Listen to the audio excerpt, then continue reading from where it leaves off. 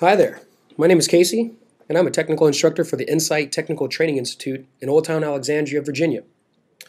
You can find us online at www.insytetraining.com, and also be sure to uh, visit us at www.tekpros.us. At some point in time, you've probably been asked, hey, what's your IP address? Well, this brief tutorial is going to actually help you find that. First, locate the Windows icon at the lower left corner of your screen aka the Start button. You will notice that the first item from the bottom is a new search feature in Vista and 7. Type CMD from the command line utility in the search box and hit the Enter button.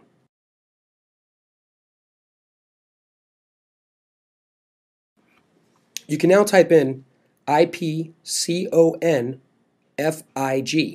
or IPconfig. Then hit the Enter button.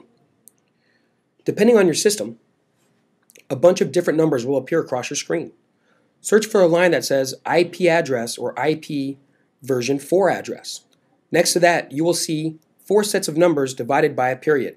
For example, 192.168.1.9 as shown here.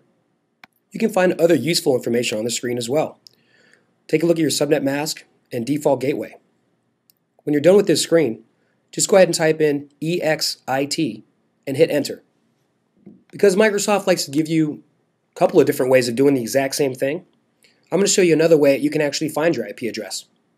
If you go back down to that start button in the bottom left hand corner, click on that and then click on control panel.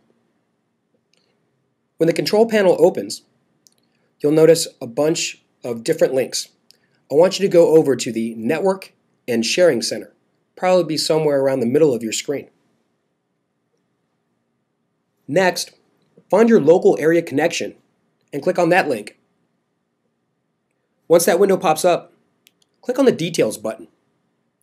Again, just search for the line that says IP address or IP version 4 address, and you'll see your IP address right there. Just like we saw previously with the command line utility, there's other relevant and useful information you can find in this window as well. When you're done with this window, just go ahead and click on the Close button. So that's it. Pretty simple, right? Now the next time somebody asks you what your IP address is, you can easily find it. I hope this was helpful to you, and keep checking back with us as we will be uploading new tips and tricks very often. If you have a techie question that you would like us to help you with, or a tutorial you would like to see, send us an email at info at tekpros.us. And again, thanks for watching.